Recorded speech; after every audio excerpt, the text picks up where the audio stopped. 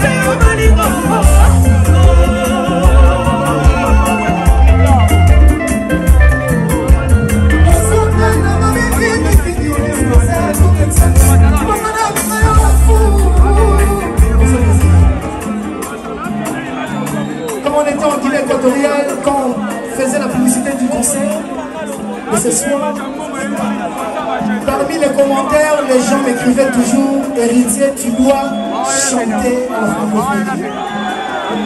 Et ce soir, je suis venu pour chanter. Et on va vraiment bien le faire. Et il y a aussi beaucoup qui me disaient, héritier, c'est la francophonie, il faut s'exprimer en français. Heureusement que Dieu nous a donné cette chance-là de mieux s'exprimer. La francophonie. Depuis est on a vu des événements ici au Congo. Pour une première fois, même moi, j'étais. Je n'imaginais pas que ça pouvait se faire ici au Congo. Quand j'ai vu l'image du stade de Martyr, j'ai dit, mais non,